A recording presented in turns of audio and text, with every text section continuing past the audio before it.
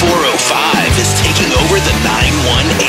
Coming to you from KATT Central at Rocklahoma 2023. Man that needs no introduction, Gavin Bush.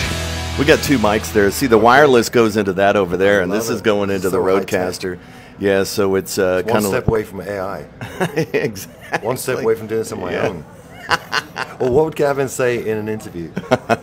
I was just curious if the other guys ruined it for me, you know, because a lot of times everybody's making the rounds and then on down, on down, and then you get all the stupid questions a couple of rows down or whatever, and then then you're like, oh man, I don't know if I can do another one, and then is this guy going to ask me this or whatever, and uh, how do I get? Do I get you in a good mood? oh yeah, no, I'm thrilled to be here, and um, you're in a good mood. You're festive. Well, uh, it's a you know it's a great festival. Playing at A15, it's going to be amazing, and uh, just my focus is on that. You know what I mean? Yeah, I know.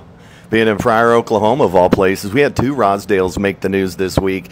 You being here at Rocklahoma, and then I guess your son Kingston playing in Ada, man. Were you? Does that make you proud? I mean, to see that. I mean, Um, absolutely. You know what I love about it is he's just doing his thing, and um, it's nothing to do with me. You know, I mean, he's finding that independence. He's 17. He's doing his thing, and he's got a vibe. He's got a direction, and that's the way it should go. That means I've done a good job. yeah, you didn't really. right yeah, to, to, you didn't off and do force- interesting yeah. things. Um, and yeah, he's an amazing kid. That's awesome. Yeah, we saw the videos and stuff, and of course, yeah, you know, it just happens. You know, there seems to be, you know, all the guys in Metallica, all their kids are in bands now. You know, and Yeah, Corey Taylor's son is in a Yes, band. yeah. So it's it's almost like kind of in a in a way, you know, it you'd rather see that anyways at the end of the day than them get in trouble or I don't know playing football, maybe I don't know. Yeah, I mean, football and trouble are two good things. you know, Exactly, right? I think it's essential, you know. Yeah. To, to if it's only through getting in trouble that you figure out your path, you know.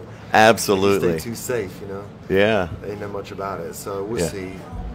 yeah. Well, uh, I guess Jimmy Buffett passed away, and Yeah, that's uh, are you going to do uh, do a Buffett cover? Do you got know any in the arsenal? I will be drinking a margarita. There you go. So we can celebrate the memory of Jimmy Buffett sure, by raising I- one. You know, it's always sad when uh, we get the kind of news of people passing, and you know, it gives a, a little nod to our own vulnerabilities. Exactly, yeah. Our own impermanence. and, Yep. Uh, we have a, a greatest hits coming out um, in November, and the first song off of that is called um, "Everywhere, Nowhere to Go But Everywhere," and it really is a, a song that I wrote for my friends, and people you'll be able to sing it about you and your friends. It's a weird song. It had a power. And so when things like that happen, so if you get a wistful feeling because Jimmy Yeah. Buffett died, Yeah. I wrote a song that has a wistful feel to it, which I thought was a cool way of having, making a, a song to do the greatest hits that encapsulated everything I've Yeah. done. Yeah. And um, it's funny. Kind of like bookends, right? You know, to yeah, bring just- it all yeah, together just- and yeah, and just and yeah, and the link, like the link to everything. yes, you know? From the beginnings to where you are now. You know, Yes, and how many years has it been? I mean, Jesus, is it thirty already? we hit about the thirty-year mark. Too many, too many. Well, I mean, it's- I've lost count. It's just what's amazing about it is you realize that life just moves at an insane pace, and it's essential to get the most out of it.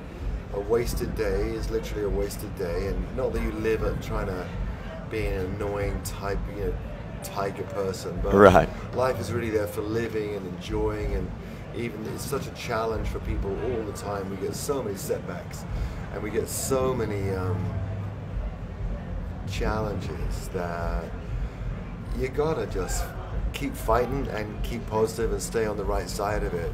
Um, yeah.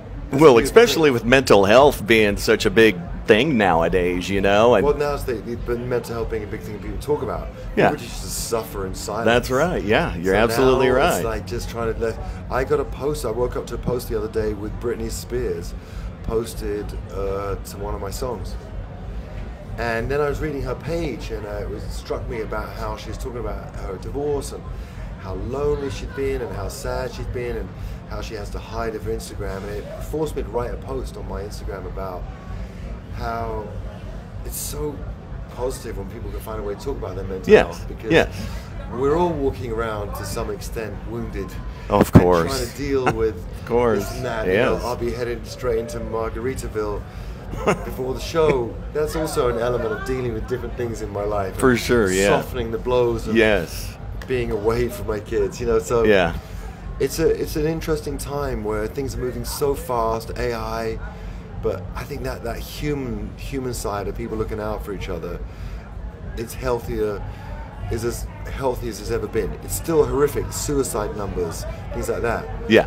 But wow, we're talking about it now, and that's a beautiful start. Yes, exactly. And a lot of It's people. not enough yet. Well, I know. it's the right direction. Agree. But in your position, though, as being a musician and an artist, do you need water? No. You're okay. Musician and artist, you know, people, uh, you know, your what you write, your feelings at the time, and however it comes out when you're recording it, also becomes like the soundtrack of their lives. So, like Britney Spears, whatever she's going through, and what that song may mean to her, and it's a song you wrote maybe 20 years ago or whatever, and it's.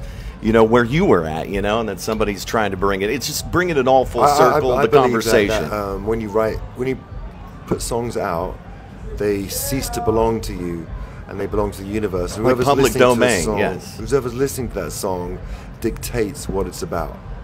yes. They dictate. Yeah, That's their what it's a person interpretation, yes. Their interpretation is the only interpretation. Yes.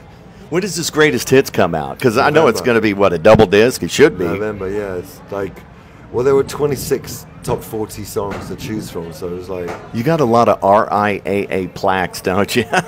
We have a couple. I actually have one Yeah, in my actually- office. They actually stopped giving them to us. Actually, Did they really? Yeah, we used up our lifetime supply. Or something. I don't know. you reached the the rider Yeah, limit. they, there's a limit. Yeah, well, it's been a great run, man, and you're still doing it, and that's why I, I love seeing you guys play. You know, and I thank you for taking your time today. What's the date on that? The the greatest hits? that Do you I know? don't know. It's coming though. It's coming. I'm going. I do the this show. I go home for like 10 minutes, see my boys for a week. Then I go back. Then I go to Canada. Then I go to New York to do a week of press about the show and a, and a show in New York to, to launch that record. So it's all happening now. Well, it's been a pleasure. Thank you for taking your time today, Gavin. Gavin and. Bush right here, Rocklahoma 2023.